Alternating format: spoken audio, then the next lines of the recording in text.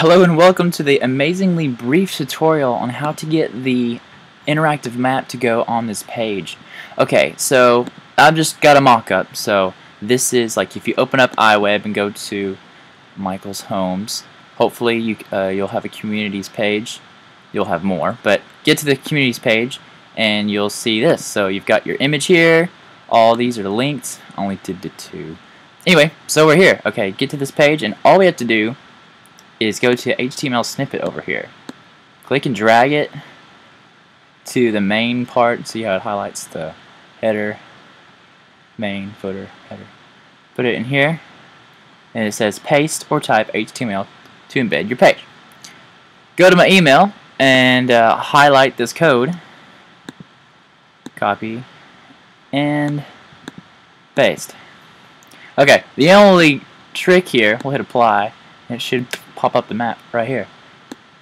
The only trick here is to make sure that when you slide it on top of the old map that it covers it completely. But that can easily be whoa, easily be adjusted with these numbers right here. These two numbers right here, those control the height and the width of the um, actual map.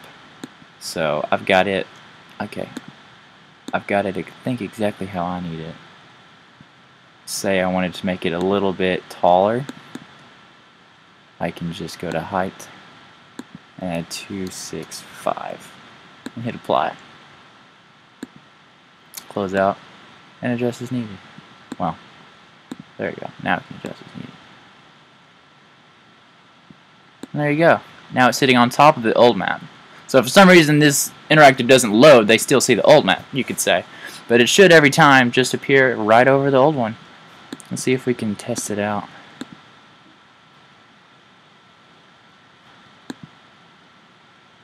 Now, of course, I'd prefer that we um, redraw. I see, there we go. You see the old one for like a half a second, and then the interactive one loads. Um, there they are. Okay, so where are the points? There they are. Uh, I do recommend that we take away the lines because you can see they're pointing to the old map still, and it just kind of looks kind of odd.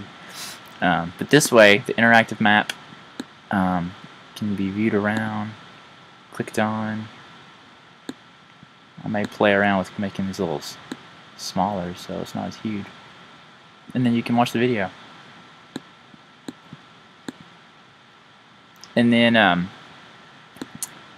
each of these should work. Yeah, yours work. This is just my mock-up site, but on yours, all of these little guys work. Okay, so there we go. Now your map is working. If you have any questions, if it's still not working, or have any concerns that we may need to look at if this won't work um, for what y'all want, let us know, and we'll figure it out. Thanks. Bye.